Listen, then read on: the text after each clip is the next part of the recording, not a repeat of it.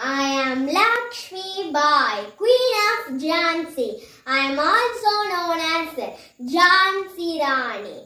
I was born in 19th November 1828. My, my father name is Moropant Tambe. My, maha- my mother name is Bhagirathi Sapre.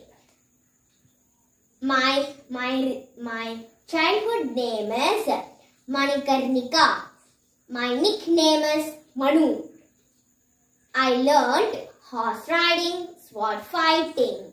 Lakshmi Bai was married to Raja Gangadhar Ram, king of Jhansi, and she became queen of Jhansi.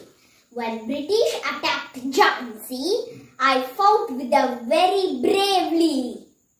I pledge to serve Jhansi till the last drop of my blood. If defeated and killed on field of battle, we shall surely earn eternal glory and salvation. As a woman, we have to be bold and brave. Ha- thank you. Happy Republic Day.